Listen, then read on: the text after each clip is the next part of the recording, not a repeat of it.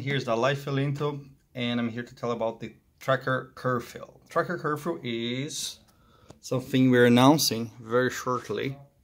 It's a preview where we're trying to get the bugs from a really, really high number down to manageable states. So basically, we're aiming at having only two open, 100 open bugs and get every single patch revealed and for that we're basically taking all the existing 2000 bugs that are open right now and the patches make sure they're all properly retried and this is going to be a process where all the hired developers for the Blender Foundation are going to be working on. Volunteers are uh, as always are welcome. And we're hoping to start this today in the week before Christmas so we can have more chill time throughout the holidays to see if that works, to make some adjustments.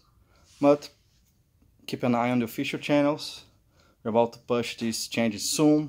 Sergey is doing the final database migration adjustments and his sparkling joy of being able to have you know everything in place.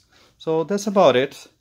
The idea is really to be more strict on how we track the bugs, to really have a really good definition of what a bug is and what is then a non-issue, where bug is simply something we work on that's on our roadmap and not something that we know is a limitation, but no one's going to work on.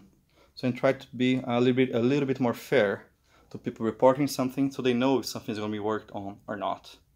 So keep an eye on the on our community channels, in our official development channels, and hopefully in one month, two months, in some time down the line, we can announce that the curfew is over and we got back uh, control and management of the bug and patch tracker. Bye bye. And this is my office. Hey Sandra.